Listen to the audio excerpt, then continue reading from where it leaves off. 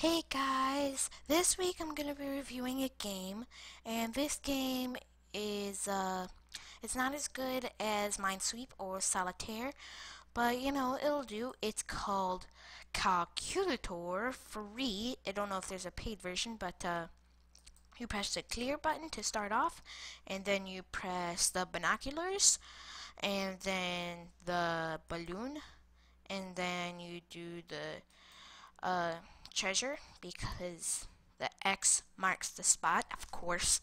So, and then you press any character and then the two lines, and then, woo, new high score!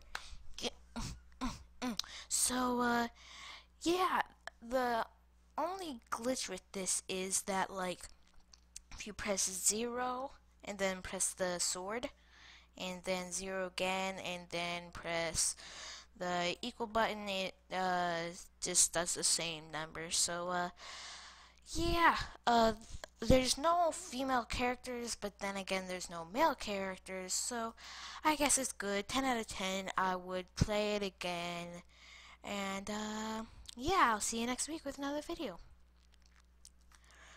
Okay guys, so I hope you enjoyed this video. It was a funny little video that I wanted to do. No, I yes, I do know how to pronounce calculator. It's calculator, and uh, this is a free game, not a game, but it's free.